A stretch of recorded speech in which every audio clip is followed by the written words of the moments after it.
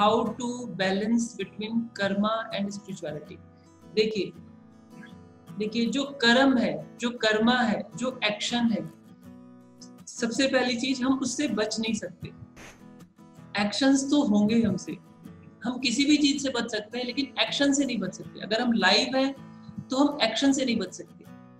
और एक, वो बताता हूँ, जैसे चार तरह के लोग होते हैं।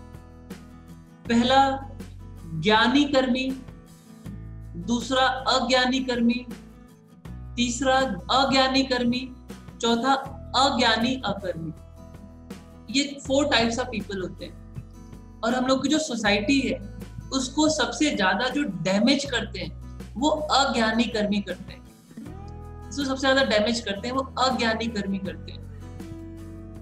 और जो ज़्यादातर जो आ, हम लोग की सोसाइटी को ज़रूरत किसकी है? ज्ञानी कर्मी की ज़रूरत। है जबकि होता क्या है कि जब हम लोग विजडम को, ज्ञान को अक्वायर करते हैं तो उसके बाद हमें लगता है कि अब हमें कर्म करने की ज़रूरत नहीं है। तो ज़्यादातर जो वाइस लोग होते हैं, जो सेंट्स होते हैं, जो ज्ञानी होते हैं, वो ज्ञानी अकर्मी बन जाते हैं। क्योंकि ज्ञान का जब, वो ज्ञान को जब अटेन करते हैं तो उनको लगता है कि उनका जो कर्म है ना, वो तो उनकी मूर्खता से निकल रहा था, उनकी स्टुपिडिटी से निकल रहा था, उनके अहंकार से निकल रहा था। ज़्यादातर लोगों का जो कर्म निकलता है अंधकार से निकलता है उनके ईगो से निकलता है उनके अहंकार से निकलता है उनके स्टुपिडिटी से निकलता है उनके नेगेटिव इमोशन से निकलता है।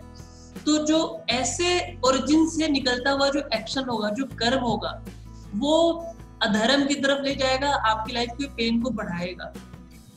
और जो एक्शन जो कर्म हमारे आ, हमारे पीस से हमारी हैप्पीनेस से हमारे पॉजिटिव इंटेंशन से निकलेगा वो हमें हमारी हैप्पीनेस को इंश्योर करेगा पीस को इंश्योर करेगा हमारे स्पिरिचुअल ग्रोथ को इंश्योर करेगा।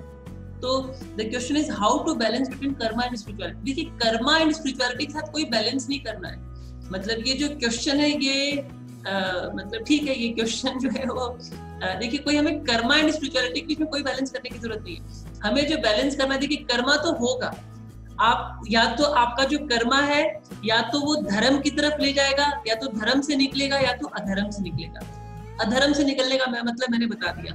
जितने भी अज्ञानी कर्मी होते हैं, जो अज्ञानी कर्मी होते हैं, वो आपको आपको जो भी है, जैसे स्पिरिचुअलिटी से या जो राइट पाथ है, उससे दूर ले जाएगा।